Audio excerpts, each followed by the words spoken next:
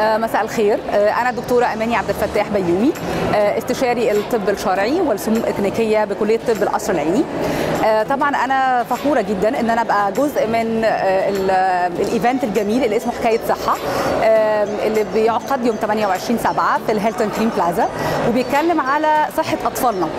الحقيقة أنا دايما أقول إن أطفالنا هم ثروتنا هم فلذة أكبادنا وبالتالي لازم أن يعني إحنا نهتم بيهم مش بس على المستوى الصحي لكن كمان على المستوى النفسي.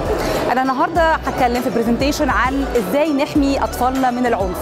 لاحظنا في الفترة الأخيرة إنه إن إحنا عندنا حالات كثيرة جدا عنف ضد الأطفال. وللأسف الشديد برضو الحقيقة إنه هذه القضايا بيكون فيها الجاني الفترة الأخيرة هم الأب والأم.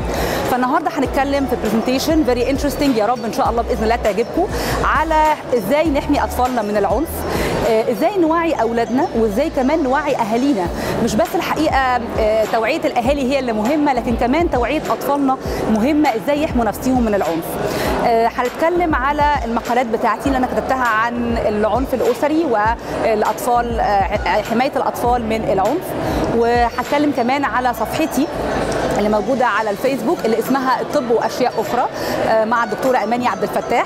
لأن الصفحه دي الحقيقة هي صفحة توعوية بتهدف إلى نشر الوعي عن العنف الأسري في المقام الأول.